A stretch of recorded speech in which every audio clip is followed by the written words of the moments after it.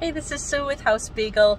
Um, here I'm sitting in my car waiting to go to somebody's house because they're in, they were in forbearance and are expecting that they're going to need to sell the house quickly. They can't really afford the payments because um, somebody lost their job in the family. So um, want to go and try to help them out. Um, we go to the house to try to give a better estimate so that we're not coming back later and going, hey, this wasn't exactly the way that we thought it was, and we need to offer you a little bit less. So we, we like to go see the house before we make the offer, and that's one just one of the things that makes us different um, than the other folks. So if you um, have a forbearance coming due or uh, any other kind of situation where you want to sell your house fast for cash, call us at House Beagle.